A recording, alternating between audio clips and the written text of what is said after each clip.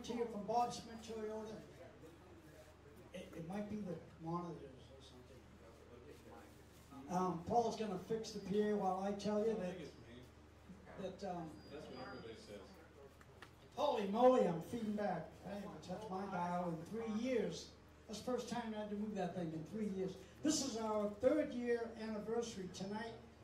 I, I think it was on like the 20th or 21st, so we're within a day, within 24 hour, hours of when Paul and I and Jerry McWorter and Gary Swan was the original band. Was just the four of us. We started this Carmine's Country Corner with the Wild Country Band, and uh, we've done it every Sunday for three years straight. The Sundays that we're not here, we do like a rerun, pick one of the old shows up because sometimes I leave town or something. But uh, Paul's been a trooper. He's been here since day one. Jerry left us a little while ago, but but he didn't want to miss the anniversary show. Jerry left. Jerry left us. But anyway, we love you. Well, listen, that's, that's about how I felt when he left us. Believe me, I felt like oh, I'm losing somebody here. But Jerry, you surprised me because I called you last week and I hadn't heard back, and I was thinking uh, he's probably busy gigging or something. And he walks in on us, and I'm so happy. Well, lucky for you, I don't have a microphone right now. Well, yeah, and you might not get one either if you keep that. up. But anyway, we love Jerry. In fact, he left his drum set when he left about a year or so ago. He, he, he just left his equipment, so he's playing his own drum set tonight. But thanks for coming back to the family and joining. You'll always be part, part of what we do. Hey, somebody fix my fence. Nellie, get off the stage. Okay. you got to kick them when you're down. That's what I always say. JD, so proud to have you here with us. I had lunch with JD, I think it was yesterday. Yeah. Oh, Friday, yesterday was Saturday, so Kim's gonna fix our little fence. And uh, I didn't have a, really have a guest out of this, it was an anniversary show, we we're gonna have some fun. And so I conned him into coming up, so we kinda called him, guess, I guess this week. Dad, JD Maness, great player, man. Got a million stories, and we love him, and his lovely wife Lorraine is with us tonight. There's a whole bunch of people that we're gonna get to. And there's one special little guy, I'm gonna stop talking in a minute, that we have to, uh, we have to, he requested a song, and we're gonna do it for him. And I think Paul knows what it is, just give us a key and I'll just do this we'll in figure it out. And key of G. Okay, and, and, go ahead.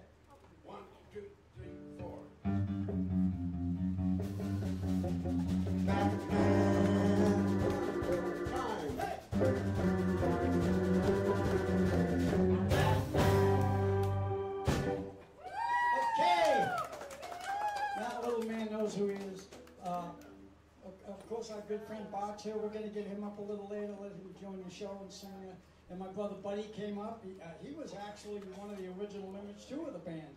He did the first, I don't know how many months He was with us. also one of the original Batman. That's right, he was.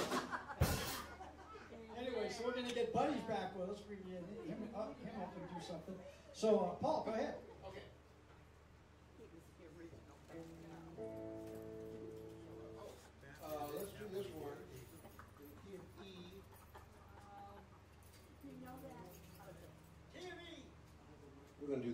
Baltimore.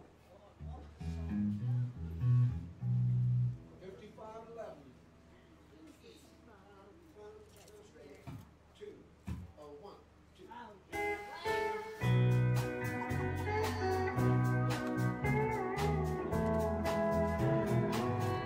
Oh, well, I sold the farm to take my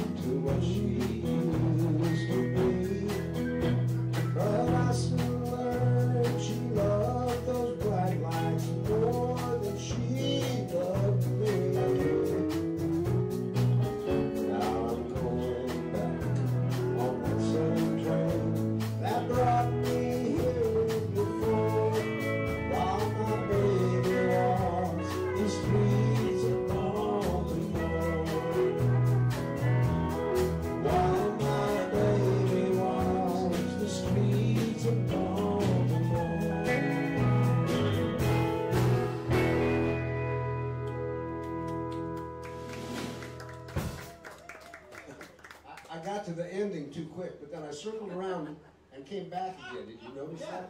Yeah, a few weeks ago, you sang, sang a song and, and you sang the line about the about the girl dying before the end of the song came. Yeah.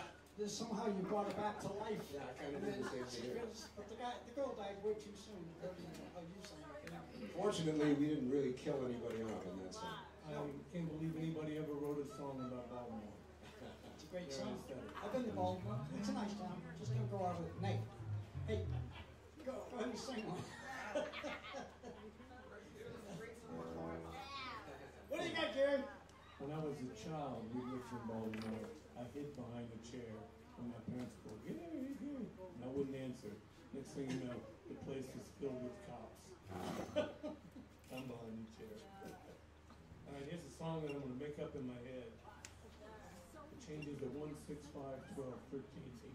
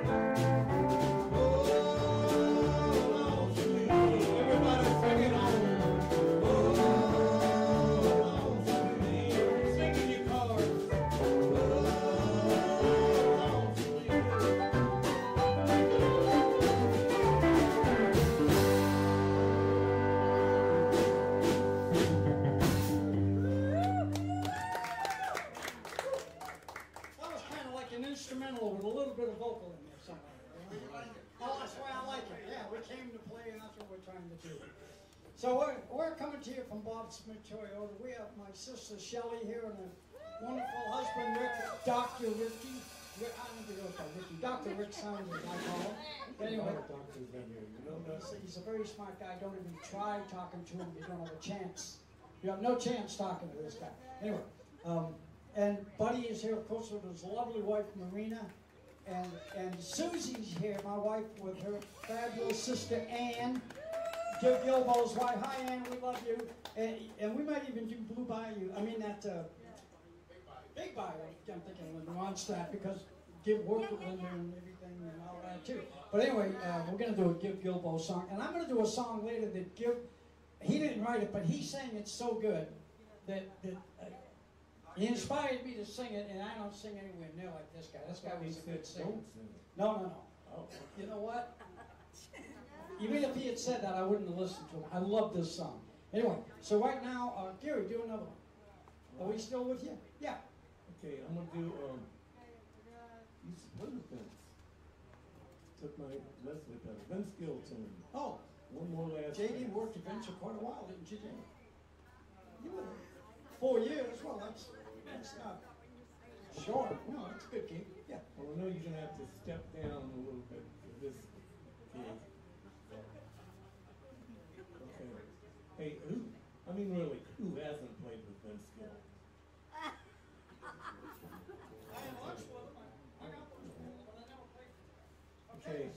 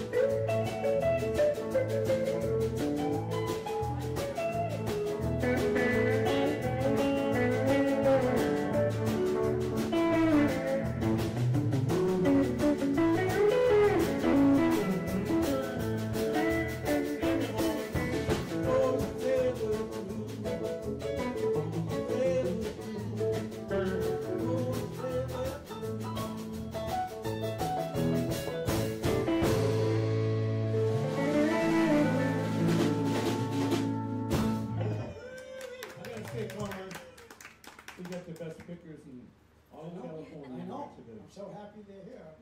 You know, I- oh, God. Clears and lock percent available For a lot in of the press range on the Sunday. On in this block, there's nobody better. So, so now you folks know that none of these guys up here can find a gig right now. Here at Carmine's Country Corner. This, this sure as hell isn't paying much. I gotta tell you. But I had lunch with JD like I told you earlier, and I said, come on. He said, I'm coming up Sunday. And here he is, and we love you for it, and thank you. Hey, did you all get enough pizza out there? Is the pizza going out there? Okay, we got pizza and drinks and cookies. We got Batman here today. Da da da da Batman. We got the new one and the old one. Hey, buddy, come on up. We're gonna get Buddy up here. and It's, uh, you see, the very first show we ever did. It was actually the second show. The very first show we ever did, I deleted, and, and I'll tell you why later. But from the second show on, uh, Buddy did. He's been in and out of here for the last three years. So, come on up, buddy. Yeah, yeah.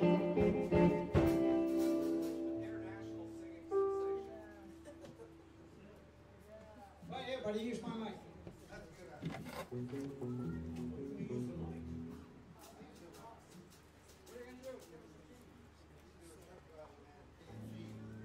DG truck driver, man. By the way, this guitar is older than most people here.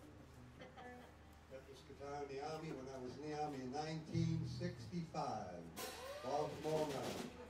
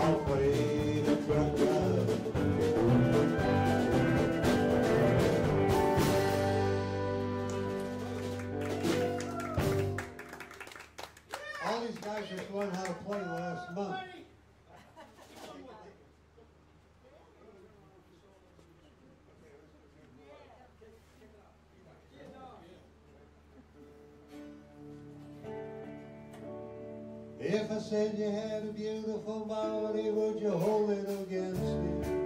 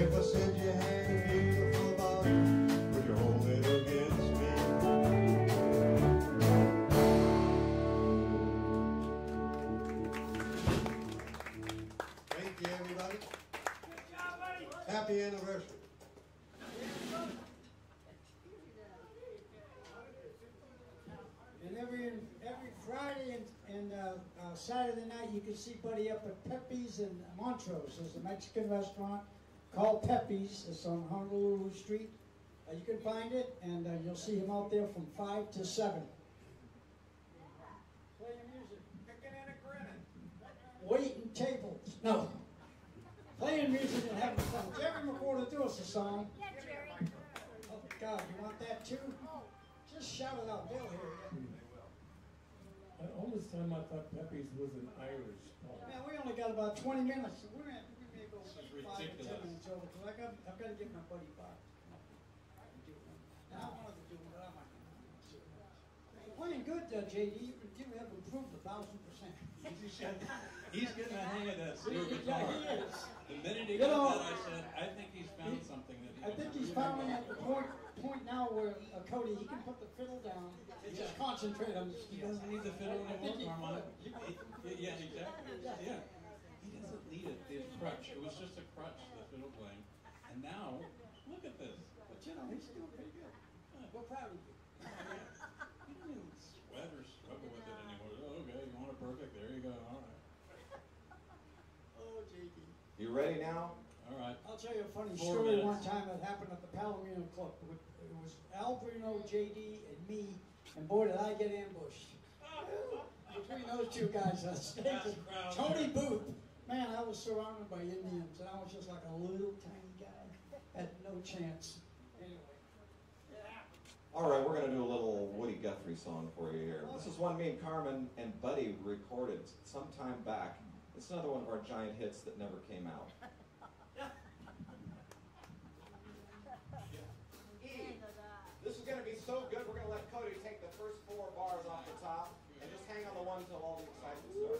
One, two, oh, one, two, three.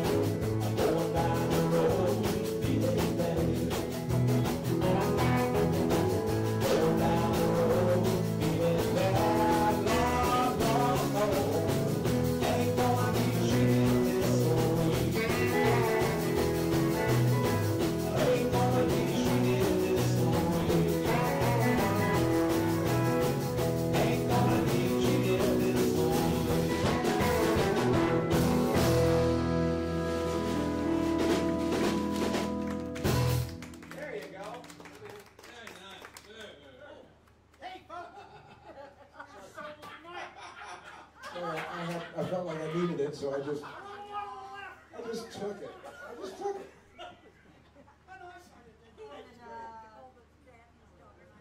I jumped right up there. I there. got no respect. The first thing I saw was Bob Smith Toyota. and Nothing came out. Anyway, three years ago when uh, uh, we did that song, what was I going to say about that? I forgot. Anyway, uh, Jerry did that in one of the first shows we ever did. We used to do it at my shop. We had the same backdrop. You notice, folks, this week there's no pictures of Merle or Buck Owens or Waylon. We usually have these big country pictures. But three years ago when we did the show, all we had was this exact backdrop. That was it. So I put it back the way it was. I did add the clouds. But that was it. Yeah, yeah, now we're here at a big building and everything is great. Anyway, uh, Gary, do something. I like to do. No, I don't want you to sing. I just want you to do something. Oh, okay.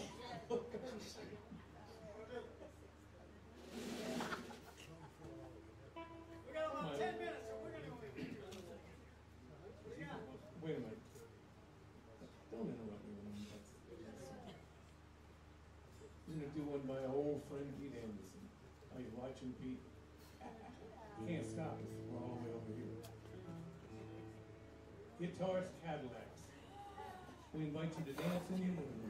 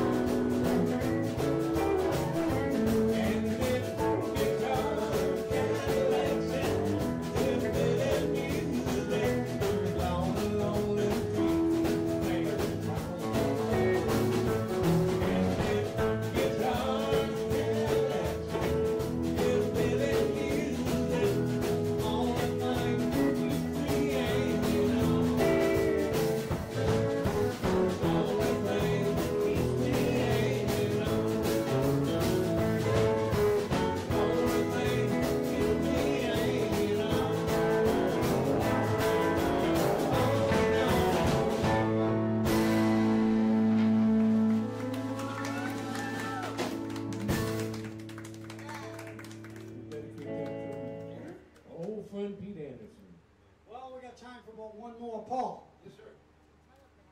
Do a quick one, and maybe I'll close it out. We'll not go five minutes over. Nobody cares about that, do they? You go five minutes over, that's okay with It's you? our anniversary show, Don't we go as long turn as me we into want. union.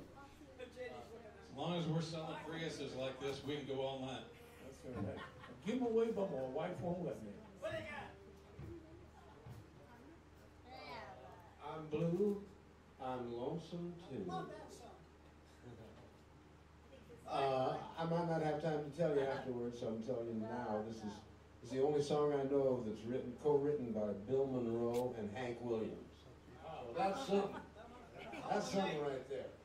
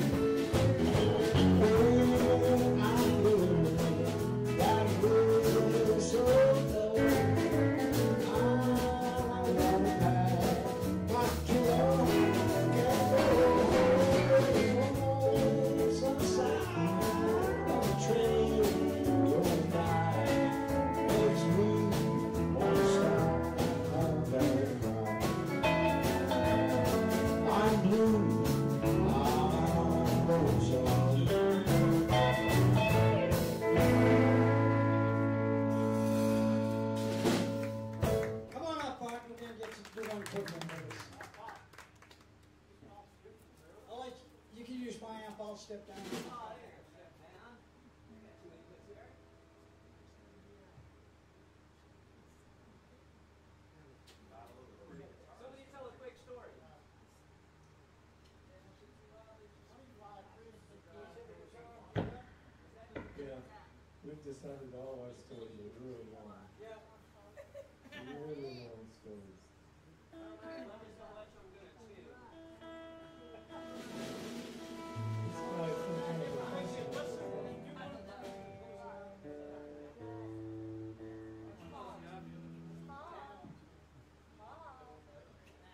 To write in, if you hear anything, any wrong towards him.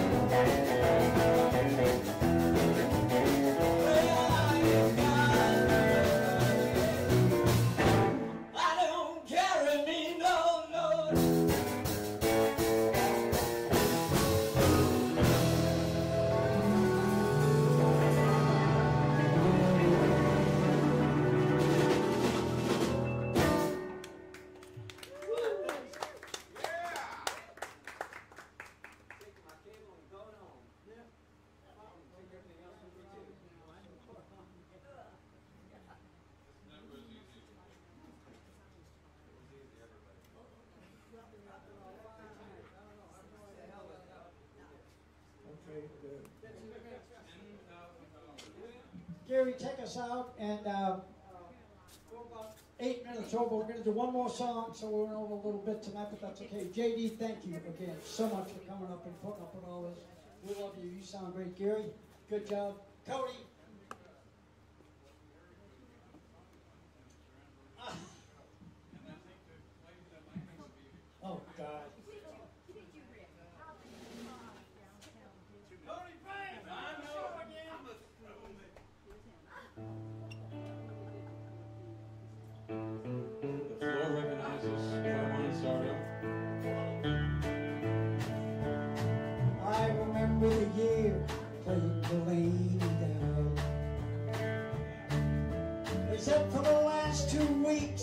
Suffered and he cried. And it made a big impression on me. Although I was a barefoot kid. And they said he got religion at the end. I'm glad that he did. I played was the best guitar picker in our town. Good night, Rick and Shelley. Thought he was a hero, he used to follow Clayton around. I started singing and they left. Seemed so good to me, he never took his guitar really down until his. All right, JD, you got.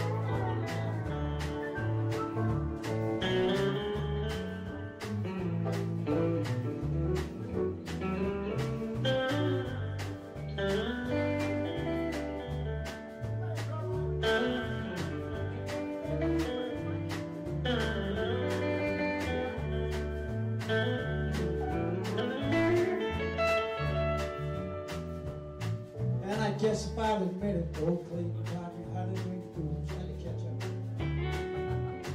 I can see him half stone picking up the lovesick blues. And when Clayton died, I made him a promise. I was gonna carry on somehow. And I'd give a hundred dollars